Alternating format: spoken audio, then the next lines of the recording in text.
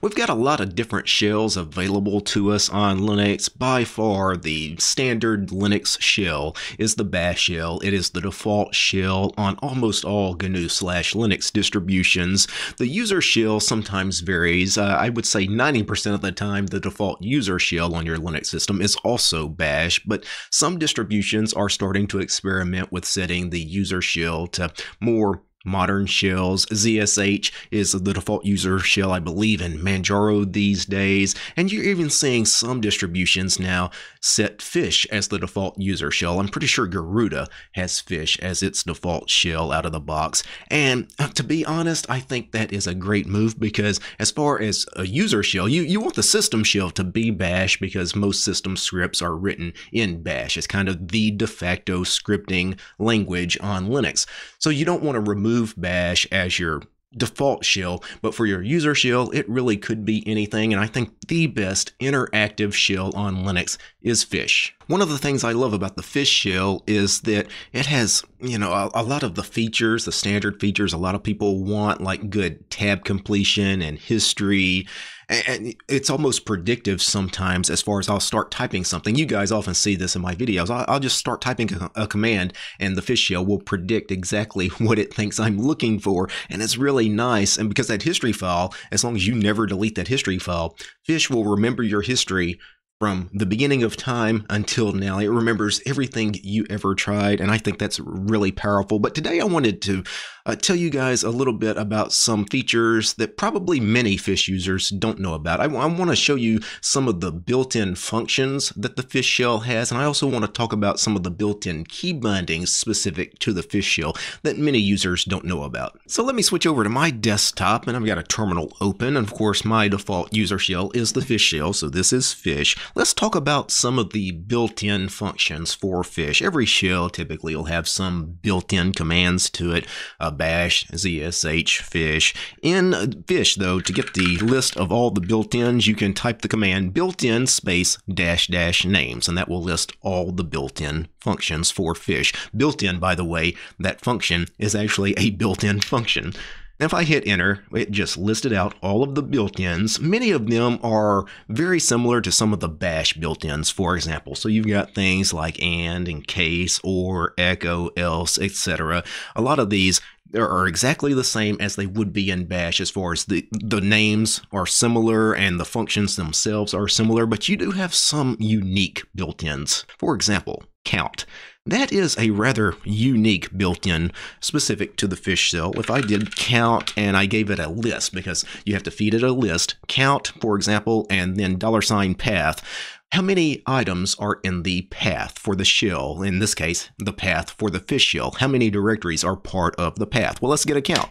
There are 11 directories part of my fish shell's path. Another really unique built-in is math because by default, especially in standard POSIX shells like the bash shell, doing math operations is either impossible or it's rather clunky. Well, in fish, you just do math and you can actually do simple arithmetic. For example, 2 plus 2 or 2 divided by 2 or 2 minus 3, it'll even do negative numbers. The one thing with the math function is doing multiplication is a little weird because if I did math 2 times 3, for example, I'm going to get an error. And the reason I get an error is because this asterisk symbol, which in calculators would typically be the multiplication symbol, well, this is also used for file globbing, right? So it's a wildcard character. So what you would have to do is you would actually have to quote that, right? So the shell knows that we're not globbing, right? That we're actually using that as a multiplication. So now math 2 times 3 would actually work. You could also use x to x3 for multiplication, but again, it's a little weird if I just do 2x3 with no spaces, I get an error because it's going to think it's some kind of like hex code, so you actually have to space out 2 space x space 3, and now the multiplication will work with the x character. Another built-in that could be useful under certain circumstances is random. Random gives us a random number. If I do man random, and this is specifically the random command for the fish shell, right? Because there are other random commands. Uh, other shells will have a built-in random, but the fish shell has its own random, and you can see it takes a range of 0 to 32,767 and gives us a random number. So that is its range. If I run random again, you can see I get a different random number. That could be useful specifically if you were doing something with fish scripting.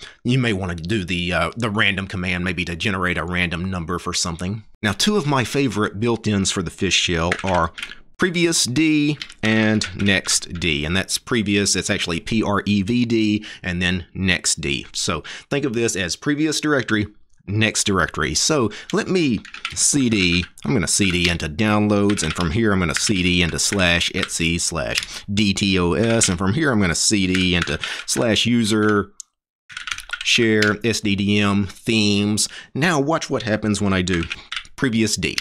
I go back to slash etsy slash DTOS.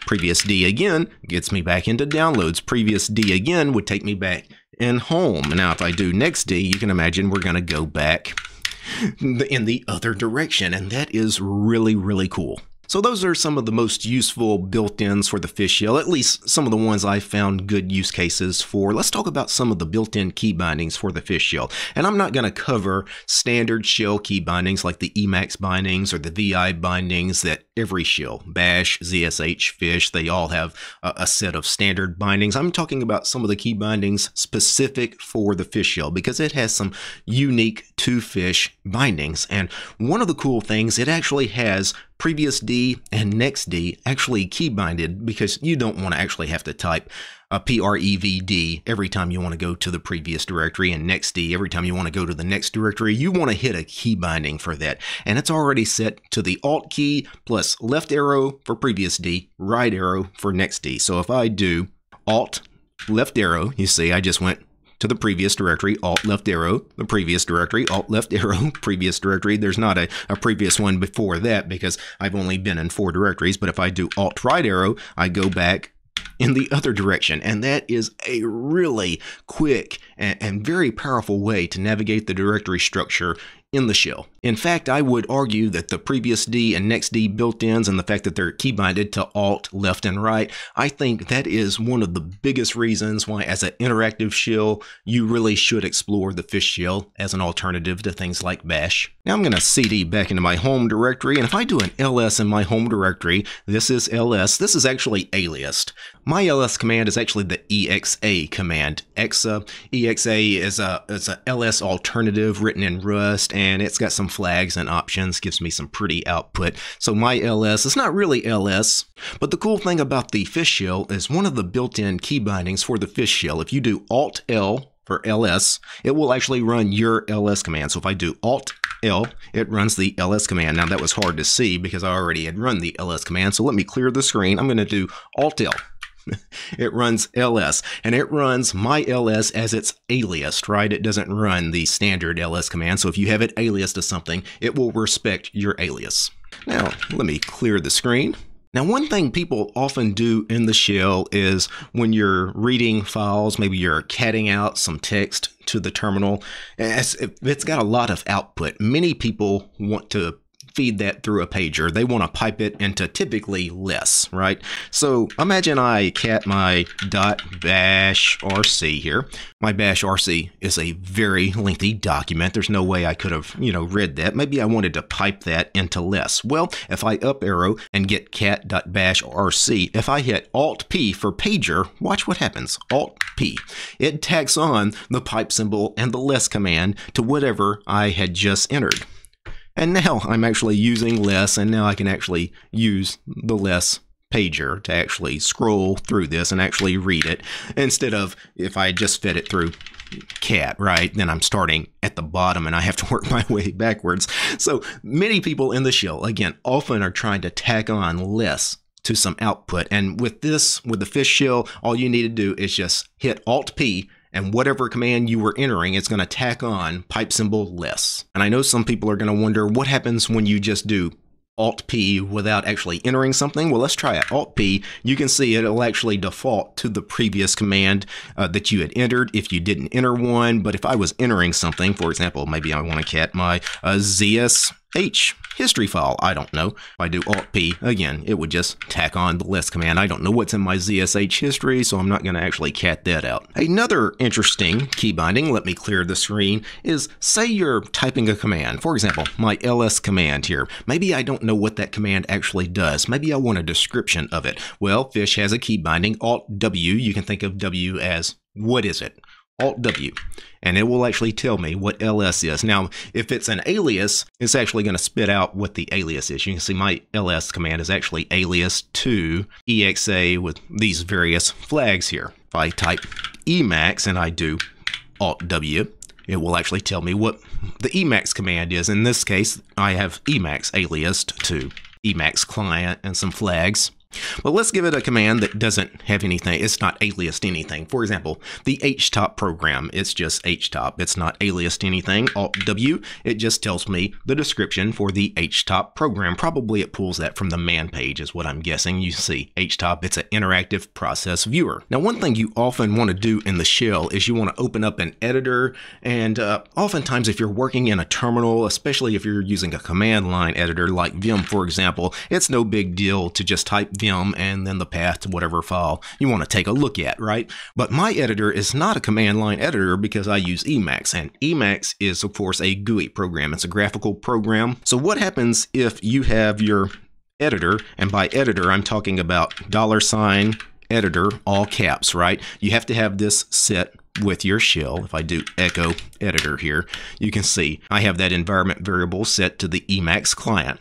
Again, it's a GUI editor. And if I just want to launch that, I could type dollar sign editor, you know, in the shell and hit enter. Well, actually, that doesn't work in the fish shell. In the bash shell, I'm pretty sure that would have worked. But fish has a key binding set to where if you do Alt E for editor, watch what happens. Alt E waiting for Emacs and it just launched Emacs, right? The terminal is still there. I'm full screen. The terminal is actually behind the Emacs window, but we launched Emacs, right? It's just an empty frame here inside Emacs. Let me colon Q to quit out of Doom Emacs, right? Once again, Alt E and Emacs comes up colon Q. One last key binding that is extremely useful, maybe the most useful out of the bunch, other than the previous D and next D. I think a lot of people are going to use those for moving around the directory structure. But how many times are you looking at a file that's a protected file, meaning it's write protected. So you needed sudo privileges to do anything. But, you know, for whatever reason, you forgot to open it with sudo. For example, let me open with vim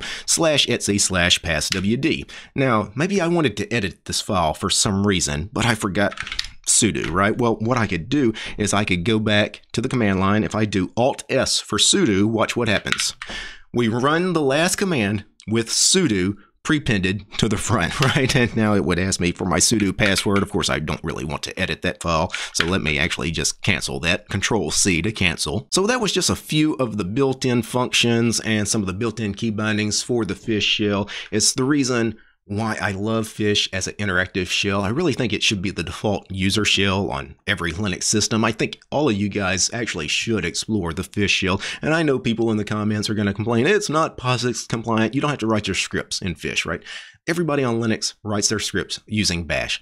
I script using bash, but that doesn't mean I have to use bash as my interactive shell, right? I write my scripts in bash. When I open a terminal, I want the fish shell, right? I want nextd and previous d and all of those key bindings and, you know, because I don't need my interactive shell to be POSIX compliant. I'm not scripting when I'm just using the shell interactively, right? So interactive shells can be more modern. They can push the boundaries a little bit.